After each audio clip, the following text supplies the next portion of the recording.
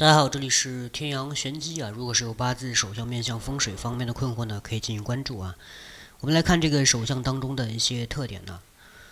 人的运势啊，这个有早发富贵，有的是晚发啊。晚发之人呢，在早年的时候啊，容易起一些波折起伏啊，而且呢，这个在这个富贵来到的时候啊，也是水到渠成啊。这个早年吃苦，到晚年呢，是非常不错的一种特点啊。那么如果是说，这个从手相来看，怎么去看呢？就是第一个是形态，第二是纹理，第三个是吉利的符号，啊，这是非常重要的一点。那么我们来看这个手相特点啊，这个手啊肉厚啊，这个皮紧柔滑，指爪有收，福气中人啊。中指呢跟食指呢有一些明显的缝隙，中指跟食指之间啊，看见没有？中指跟食这个无名指。跟这个食指也是有一些明显的缝隙，说明啊早年呢容易啊波折起伏，波折起伏。我们看这个第二个特点啊，事业线啊，事业线一开始的阶段呢比较模糊，比较模糊。行至明堂的时候呢就越来越深，步步高登，水到渠成之象啊。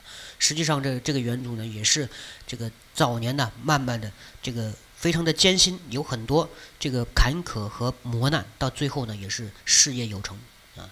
我们看这个结婚线来看一下啊，结婚线有四条啊，这个长短不一，不利于早婚呐，是非常容易这个出现这个波折的起伏的这种，在特别是在婚姻感情当中啊，综合这个婚姻线和感情线的话，是二十三岁到二十五岁之间呢是容易有一些这个。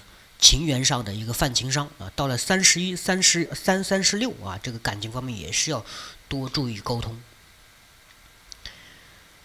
我们再来看一个这个手相的特点啊，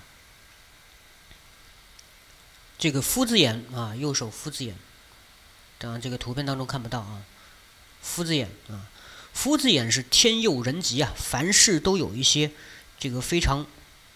不错的一种逢凶化吉的一种特点啊，而且呢，有夫子有凤眼纹的人呢，一生啊衣食无忧，福禄自来啊，容易出现一些这个豪门呐，或者是一些贵贵族公子啊找上门来啊。这个双手都有夫子眼的话，在这个婚姻当中是非常不错。左手是前半生，右手是后半生啊，这个一生当中都是充满富贵之意啊。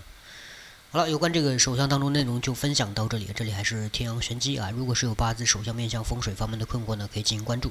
我们下期再见。